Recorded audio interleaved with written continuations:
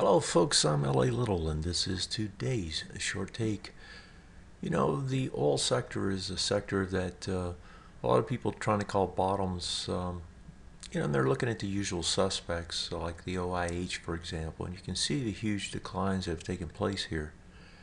But really, there is a sector inside the energy space is doing a lot better than OIH, XLE, all of the normal ones, and, and that happens to be the oil refineries.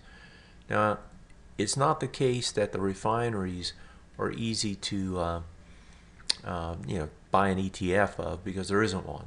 Um, you know, they are spread out in some of the others and a little bit overweight in a couple, but, you know, these stocks are doing a lot better than what you just saw on the OIH. This is Valero.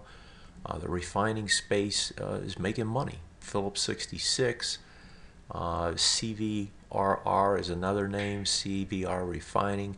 Not too bad of a chart. I mean, you can just go down the list here.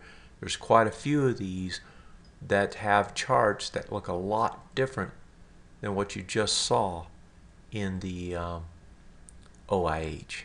And Tesoro is, is actually the ideal one at this point. So there is money to be made in the energy space. You just got to find out where to look. And it's not in the usual suspects uh, that you would probably turn to. Think about the refiners. The refiners are looking pretty sharp, pretty strong, and probably going to head even higher. That is today's short take.